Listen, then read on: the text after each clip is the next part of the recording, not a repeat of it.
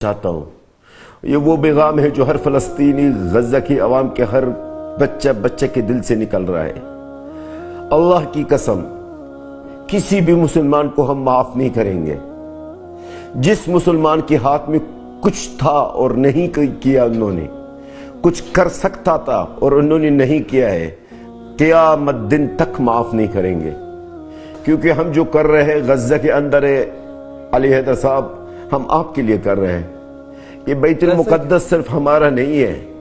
ये मस्जिद अक्सा हमारा सिर्फ़ नहीं यही है। ये सारा मुसलमानों का है। क्यों सिर्फ़ फलस्तीन को गैरत है इस मस्जिद हम, हम काबिल नहीं है माफ़ी के। अब काबिल मैं हाथ ये मेरे हाथ जुड़े हुए हैं सर। मैं माफ़ी माँगता हूँ और हम काबिल नहीं है माफ़ी के।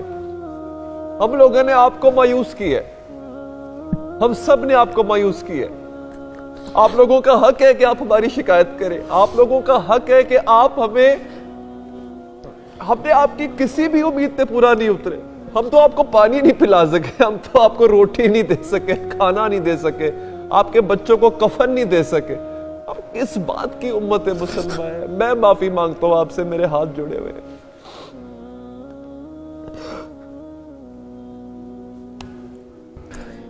या अल्लाह, मैं दुआ करता हूँ कि प्लीज़ मुझे नहीं पता मेरे पास तो खैर इतनी सिवाय शर्मिंदगी के और कुछ नहीं है। सिवाय नदामत के कुछ नहीं है हमारे बर्बाद हो गए सैद अली साहब।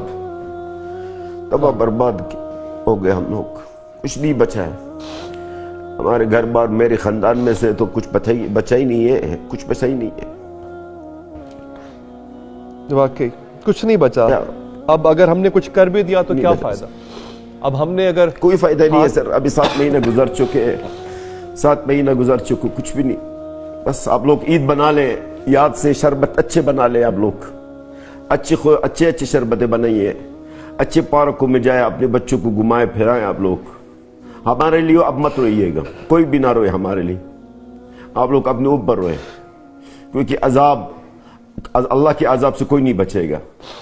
ये फलस्तीनी जो बच्चे टुकड़े टुकड़े हुए ना ये इनके जो अजाब है, ये इन, जो अल्लाह की तरफ़ से सजा और अजाब होगा ना उम्मीद मुस्लिम के ऊपर, वो आप भी देखेंगे इनशाला आप माशाल्लाह जवान हैं और अल्लाह आपको लंबी ज़िंदगी दे। आप देखेंगे ये अजाब अल्लाह ताला का कैसा नाजिल होता इसी उम्मत मुस्लिम के ऊपर। वो किस तरीके से अल्लाह ताला इस मासूम बच्चों का बदला लेता है। आप सही कह रहे हैं।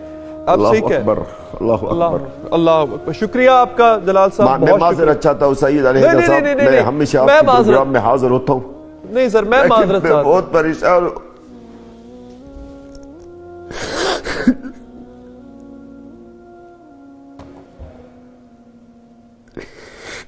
मैं माजरत चाहता हूँ सर। आई एम सॉरी अब अब रियली सॉरी जलाल साहब अब रियली सॉरी मेरे पास अल्फाज ही नहीं है मैं क्या कहूँ? रिलीज़ बहुत शुक्रिया आपका बहुत शुक्रिया आपका।